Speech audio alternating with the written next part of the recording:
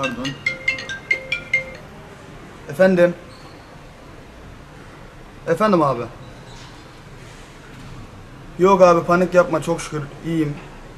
Yalan haber, yanlış habermiş. İyiyim abi, yaşıyorum çok şükür. Allah şükürler olsun. Yok abim yok, Te- teşekkür ediyorum sağ olun. Yanlış bir anlaşılma olmuş, Allah şükür olsun, iyiyiz abi. Allah herkese uzun ömürler versin inşallah. Tamam abim, hayırlı günler, saygılar dilerim abi. Eyvallah.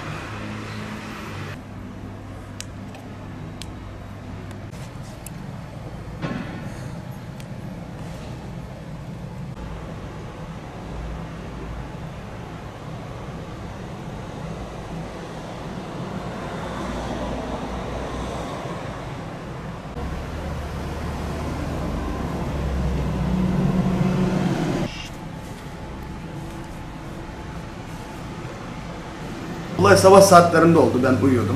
Dükkan kapalı izinliydim. Ondan sonra bir sürü bir telefon çalması yaşadım. Çok telefonum çaldı.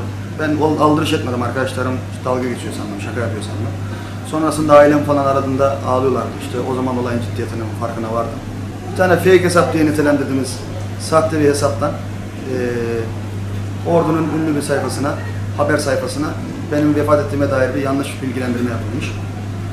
Oradan haber şirketi de beni anında paylaşmış.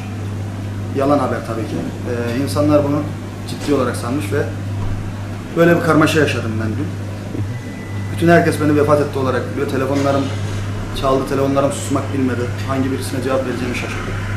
Maalesef insanlarımız böyle saçma şeylerle uğraştıkça ben üzülüyorum yani.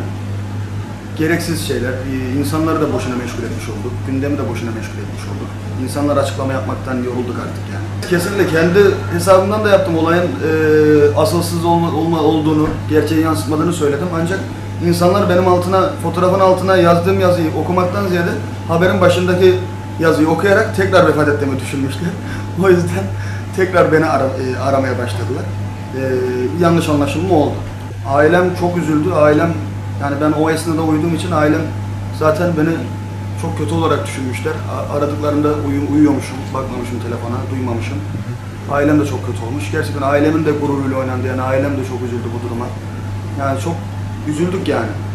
Zaten ona şaşırdım. Ee, esnaf olduğumu biliyor, hangi mahallede oturduğumu biliyor, hangi köyde yaşadığımı biliyor yani. Hepsini biliyor. Muhtemelen yani yabancı biri olduğunu düşünmüyorum zaten.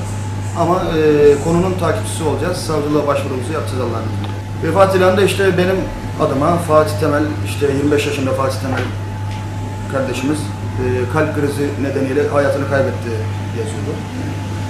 Bir sürü de yorum falan aldı herhalde. Çok evet bir sürü ben okudum kendi gözlerimle okudum yani bir an kötü oldum.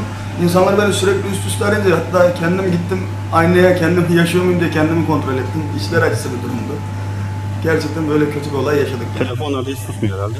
Evet telefonlar hiç susmuyor. Telefonlar hala susmuyor. İlanlara kaldırmamıza rağmen susmuyor ama yani e, artık vefat etmediğimi insanlara söylemekten yoruldum. İnsanlar hala bazıları beni vefat ettim olarak biliyor.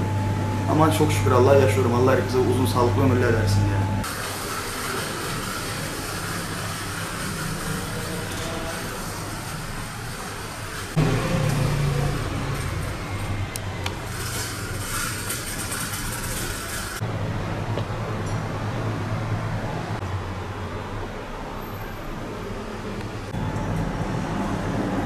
Tamam sen de dursun. Çay var. Normal çay var abi.